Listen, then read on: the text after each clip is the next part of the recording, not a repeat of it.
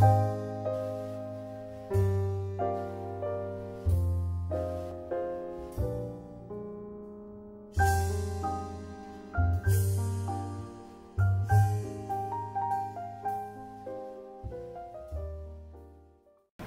we're going to learn equal stage type 1, worksheet 1. Question 1. There were an equal number of apples and pears in a box. So we start by drawing a model with equal number of apples and pears.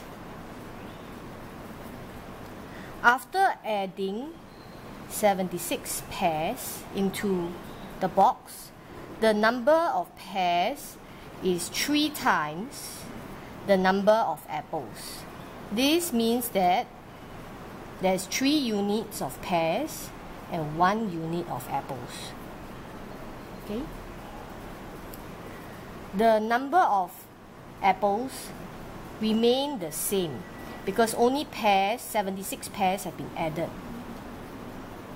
And I'll continue to draw the added 76 into the model. And this apple, since it did not change, it will be one unit. And the pear will be three unit. Eh.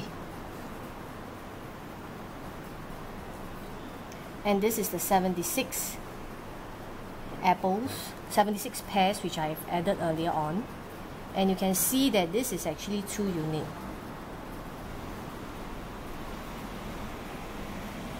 so 76 2 unit is 76 so therefore 1 unit will be 76 divided by 2 giving you 38 how many pears are there now? So we are looking for pear now, which means we are supposed to look for 3 unit 38 times 3 to give you 114. This is the answer.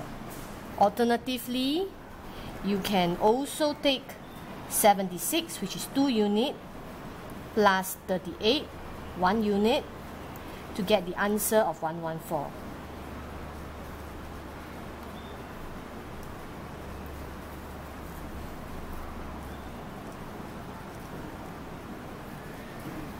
Música